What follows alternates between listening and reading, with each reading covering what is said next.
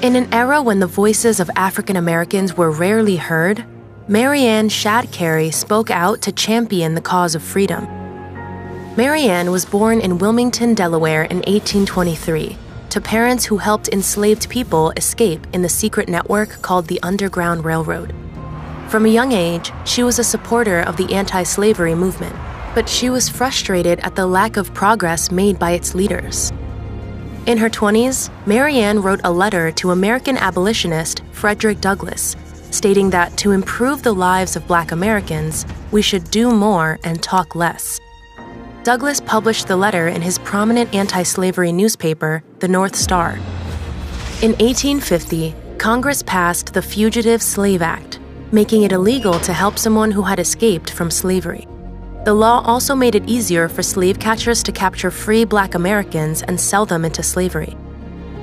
As free black Americans and supporters of the Underground Railroad, Mary Ann and her family feared for their safety. So they moved to Ontario, Canada. But Mary Ann did not give up her activism. In 1853, she founded Canada's first anti slavery newspaper, the Provincial Freeman. She advocated for full legal, economic, and social equality for black Americans, and smuggled her paper into the United States to spread her message. She also encouraged other black Americans to leave for their own safety. This was a controversial position in the abolitionist movement and made Mary Ann an outlier among her peers.